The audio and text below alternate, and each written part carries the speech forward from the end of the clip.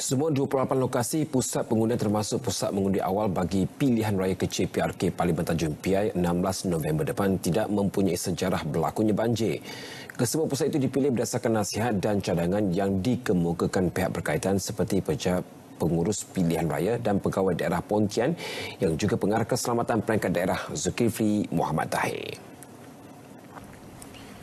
Setiausaha Seronjaya Pilihan Raya SPR Datuk Muhammad Elias Abu Bakar ketika memberitahu perkara ini menyatakan hasil lawatan ke pusat-pusat mengundi juga mendapati tiada keperluan untuk menekan lokasi mengundi setakat ini berikutan semua pusat dalam keadaan baik.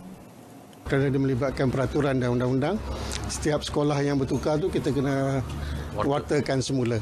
Oleh itu kita akan uh, dapat nasihat daripada pejabat pegawai pengurus lah. Kalau ada based on record, yang dicadangkan semua ini adalah luar daripada kawasan uh, terkena banjir. Beliau sebelum itu mengadakan lawatan ke pusat mengundi di Sekolah Kebangsaan Yuming di Pontian, Johor. Meskipun semua pusat mengundi dalam keadaan baik, namun penambahbaikan perlu untuk memudahkan pengundi.